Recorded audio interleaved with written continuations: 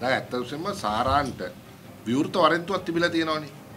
ඒ විවෘත වරෙන්තුව තියෙනකොට ඔහු කුලියාපිටිය ප්‍රදේශ සංචාරය කරලා තිනවා බිරිය ගෙවල් දිහා. කොළඹ ඇවිල්ලා තියෙනවා. එස් එතකොට එයා අපේ දේශන පවත්වලා තියෙනවා. එතකොට මේක සාමාන්‍යයෙන් මේ අපි කාටවත් විරුද්ධ වරෙන්තුවක් තිබුණා නම් බලන්න තිබුණ වැඩේ හැටි.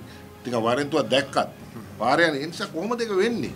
කොහේ හරි තැනකදී මොහු ගැන සියලුම තොරතුරු දැන තිබියදී කොතනක හෝ මේ වැලක්වීමක් වෙලා තියෙනවනේ. ඒ කියන්නේ කියන්නේ ඒකනේ මේ මහජනයා අපිට මේ මේක දෙසිවිසි පාටම බයින්නේ.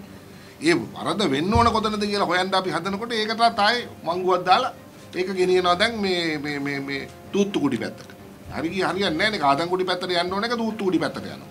ඉතින් මේ தત્ත්වය තමුන්නාන්සලා අපි තේරුම් ගන්න ඕනේ කොහොමද මේගොල්ලන් වැඩ කරන්න කියලා. මේ මහජනයා බලාපොරොත්තු වෙන්නේ ආණ්ඩුවෙන් සත්‍ය එළියට ගන්න.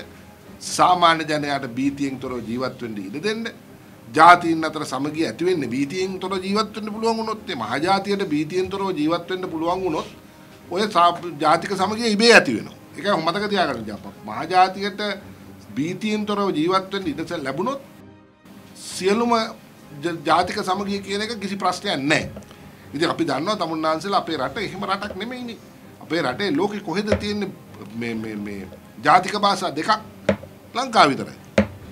ජාතික භාෂා දෙකක් තියෙන ලංකාව විතරනේ සිංහල සහ දෙමළ.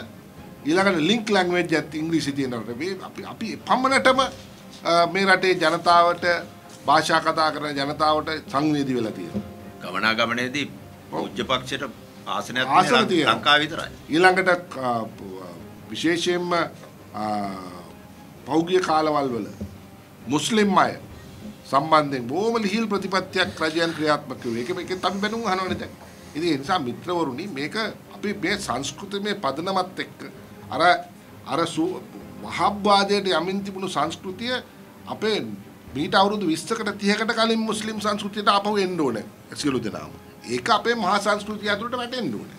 ওই தત્ත්වේ ඇති වෙනකන් අපේ මිනිස්සු බියෙන් ඉන්නවා. මේක තමයි ඇත්ත කතාව. ඒක බිය නැති කරනව වෙනුවට බිය වැඩි කරමින් ක්‍රියා කිරීම ජනතාවගේ සැකයට තුඩු දෙනවා.